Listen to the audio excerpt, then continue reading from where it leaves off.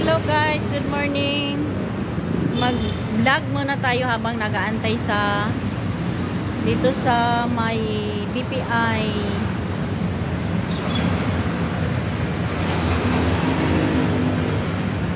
BPI Junction.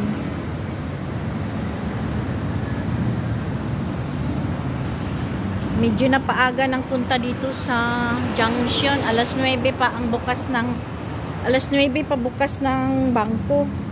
Kaya ano, mag-aantay pa ako ng ano, isang oras.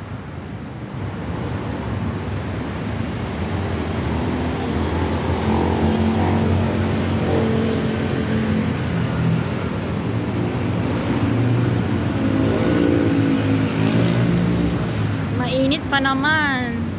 Hindi ako nakadala ng payong. Kailangan pag umalis kayo, magdalang payong. Ang sobrang init na pala.